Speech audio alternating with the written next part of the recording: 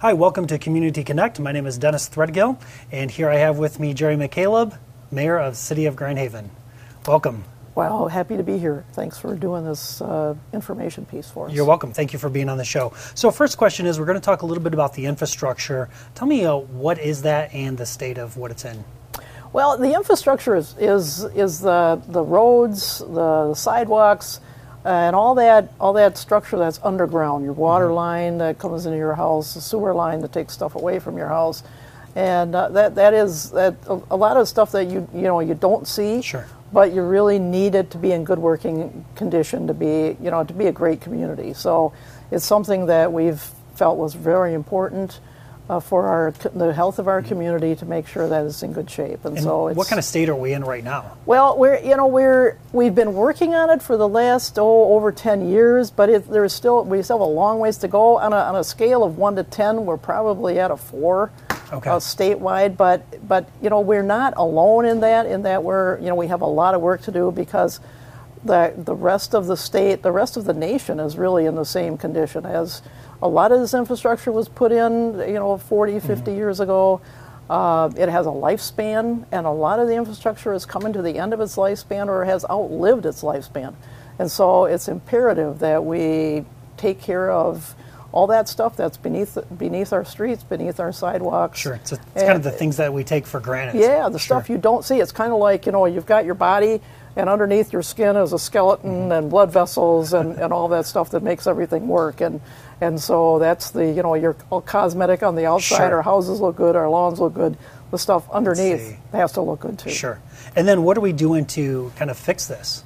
Well, we started back in 04 to take a really hard look at everything that, you know, what is the state of all of our infrastructure under the ground. And uh, it's 06 that we actually started building because it took that long to get a full evaluation of where we were. We didn't want to do do a street one, you know, fix a street one year and the next year have what was under that street, like the sewer, the water lines, break mm-hmm. down. So we wanted to do a full uh, full uh, evaluation of where everything was so that if, if the stuff under the under the street needed to be fixed, we wanted to fix that before we fix the street. So that was kind of our so that way we, we maximize the, the, the dollars, the tax dollars that are going into this. Uh, we don't waste anything by fixing the streets and having something under the ground break. So that was that was our first look as to what we wanted to look at was do we need full depth work all the way to water, sewer, mm-hmm. and street? Is it just street? Is it just water? Is it just sewer?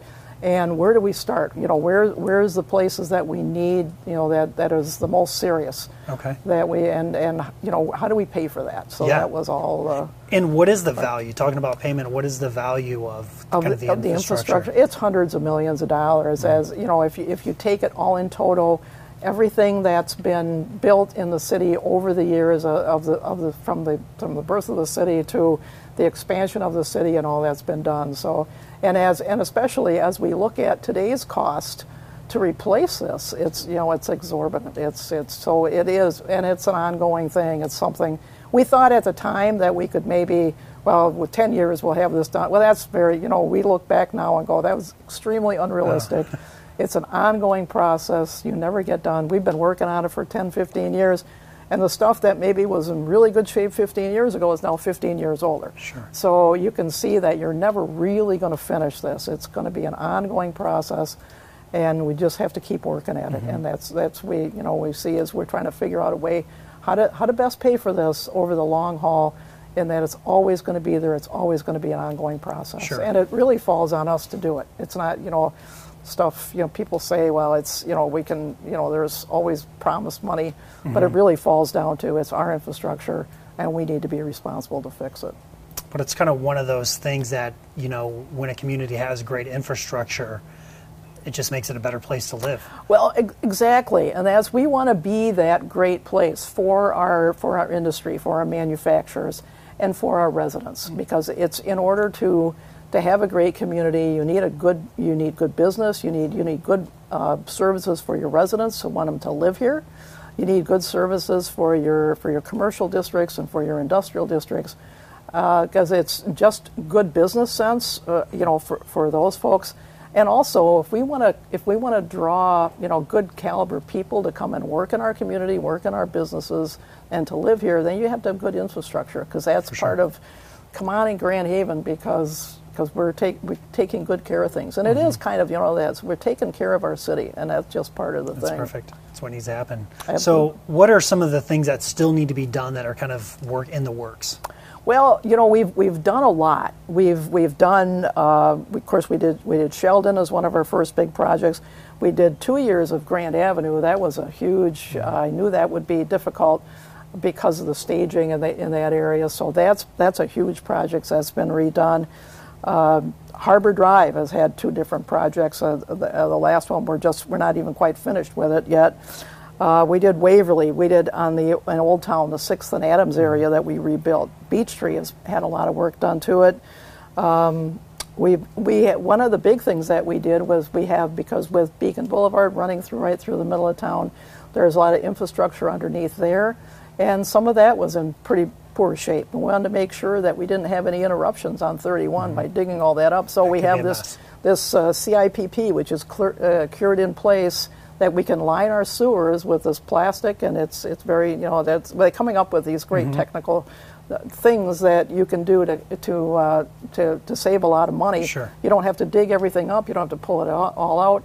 You can just line it with uh, with this you know plastic coating that they that they shoot in there, and it like I said cured in place, Mm-hmm. and and it lengthens the life of the infrastructure you have in there, those sewer lines for many many years down Wow. the road. Makes them slippery again. It fills in the cracks, and uh, and we didn't have to tear up the road. Nice. And, so we uh, can go on living without having all these things that are Absolutely. like so you, yeah, you, you look at us. what new technology is out Sure. there so that it can save us money, make things easier, and, uh, and, and have a good fix in the meantime. Perfect.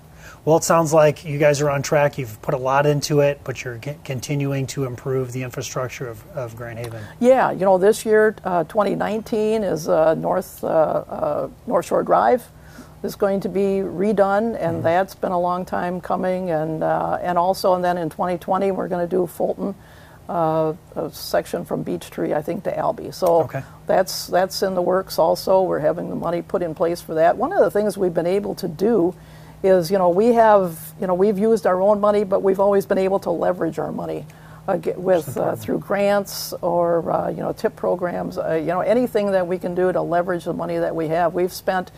Uh, we've spent close to forty million dollars, and and more like about half of that has been Wow. money other than our own that we've been able to get through grants or other you know other processes. So being good stewards of the tax money. and- Absolutely. yeah, we, we're, you know, we, we always have that match, and but we've also been very good at getting, you know, writing grants and having even our uh, our engineers uh, alert us as Mm-hmm. to hey, this this uh, this program is available or that that grant is out there, so let's go for that. They've helped us, you know, get some of those, Great. and so that has been really good for us. So we've been really been able to leverage the taxpayer dollar to a huge extent, and we, you know, plan on keeping on doing that. Good. So. Well, I thank you very much for being a part of this show. We're out of time. But uh, yeah, thanks for being All here. right. Thank you for telling everybody about the infrastructure and kind of what's going on, what has been done, and what the plans are for the future. All right. All right. Well, thank you for watching much. Community Connect.